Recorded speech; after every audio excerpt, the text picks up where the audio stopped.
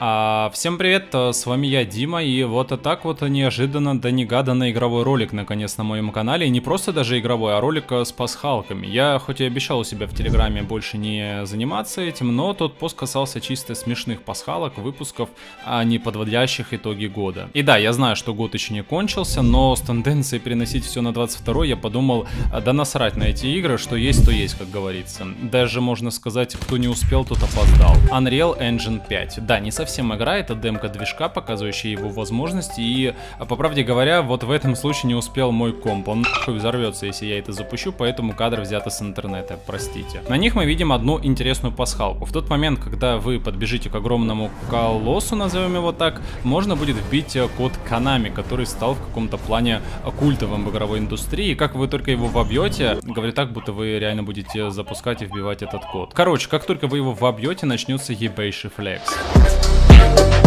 Но на нем предлагаю долго не задерживаться, Хан Showdown. Игра давняя, согласен, но если вы не знали, она обновляется и в том числе пополняется пасхалками. Есть как неинтересные, например, НЛО, застрявшее в воздухе, так и интересные, например, Сом в шляпе. Посмотрите, какой красавец. Хотя, конечно, возможно для кого-то он не сравнится вот с этим красавцем в шляпе. Э, предлагаю вам поспорить в комментариях, кто из них круче. А еще тут, кстати, есть Шрек, вернее его хата с тем самым сортиром и даже с подобием осла. Да, так как ослов в игре нет, его заменили уменьшенной моделью лошади. Многие, конечно же, спросят меня, заглядывали я в туалет. Э, да, Шрека там нет, как и его кирпичей, поэтому идем дальше. А дальше у нас отсылка на вот этого чела.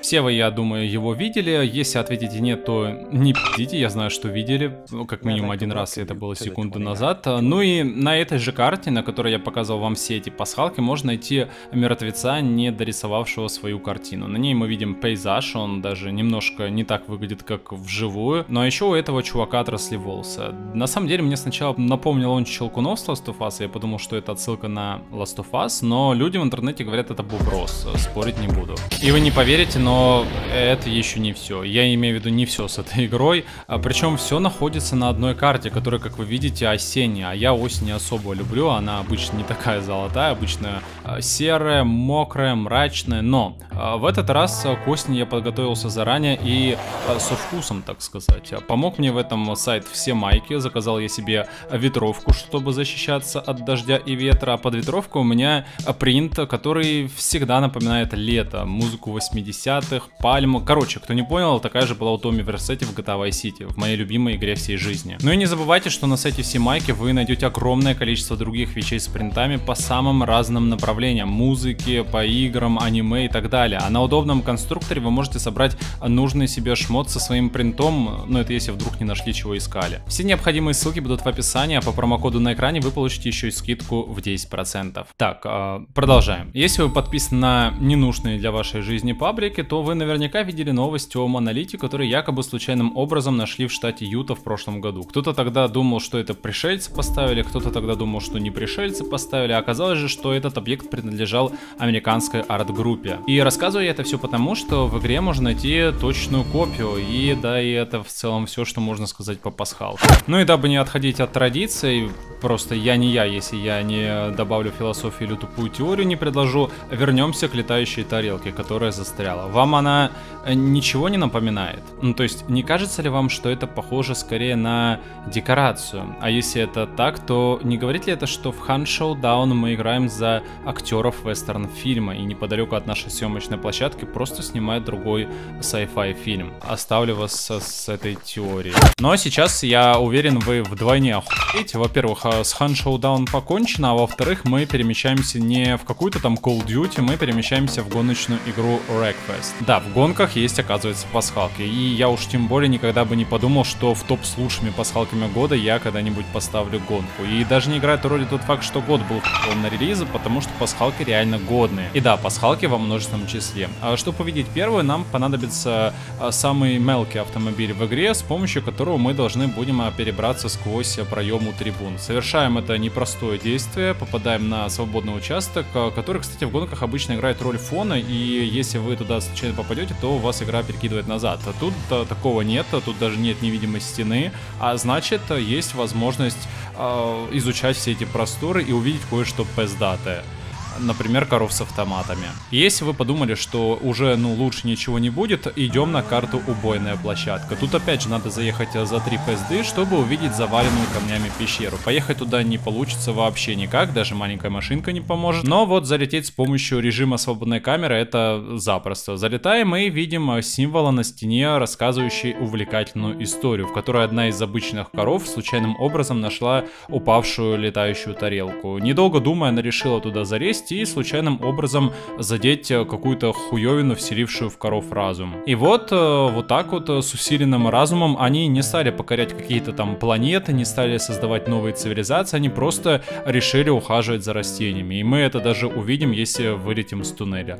Вот такая вот э, пасхал очка. Сплитгейт. Знаете ли вы про эту игру? Не знаете? Я не знаю, но кратко веду все-таки в курс дела. Это бесплатный шутер от первого лица с порталами. Да, эдакая Halo плюс Portal. Игра, как вы видите, ну не сказать, что тянет на уровень 2021 года по графике, да и по другим аспектам, но к фри-то-плей придираться петушкам равняться. В общем, хотел бы я для начала показать вам интересную и малозаметную пасхалку, отсылающую нас к фильму «Молчание ягнят», а именно к Ганнибалу Лектору, который был за решеткой, у которого была такая же маска. Да, я понимаю, что эта пасхалка не уровень для того, чтобы она была в топе лучших сигаретов года, однако успокойтесь, это, это прелюдии были. Показать я вам хотел э, вот что. Да, это дом Патрика, дом Сквидварда и дом э, Спанч Боба, который находится в огромном аквариуме. И вот насчет этих пасхалок только попробуйте что-то пиздать. В это сложно поверить, но Киберпанк 2077 вышел аж 10 месяцев назад. И если вы здравомыслящий, то вы все еще, надеюсь, не садились его проходить, потому что,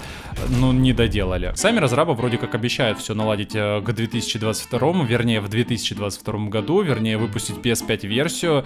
Ну, а для меня это значит, э, что они, надеюсь, по крайней мере, доработают все свои проекты. Но если быть честным, я уже как-то и забил на нее, я больше даже жду, ожидаю ремастер Ведьмака для PlayStation 5. Кого ебет вообще мои ожидания? Пасхалка. Она тут э, прикольная и выглядит вот так. Это просто стена, на которой написано Hit Here, что Google Translate перевел как «всем привет». Хотя, по идее, это, ну, врезайся сюда. И люди реально врезаются, посмотрите.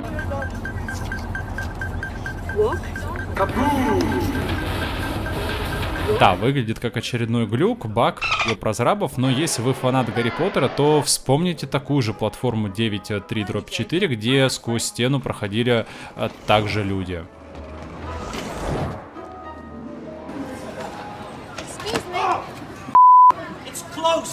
На удивление, в этом году мне зашла, ну, почти детская игра It Takes Two. Не знаю, видимо, давно в коопе ничего не проходил, или, возможно, ностальгия по детским временам, когда на первой PlayStation разделяли экран. А, короче, будто в детство окунулся, в хорошем смысле, но вообще, зачем я это несу? Это лучший пасхалок или мой дневник? Думаю, все, кто играл, ладно, почти все, э, замечали тут две фигурки персонажей из прошлой игры этой вот студии. A Out она называлась. А там вы тоже в коопе должны были играть, но только за зэков. И, во-первых, это уже сама по себе себе пасхалка, отсылка, но интереснее она становится тогда, когда вы с партнером в унисон прыгнете на кнопки у фигурок. И думаю, мало кто это делал. Oh.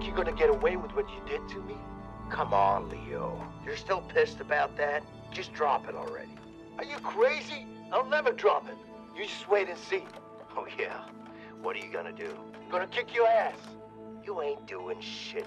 You're a doll, Leo.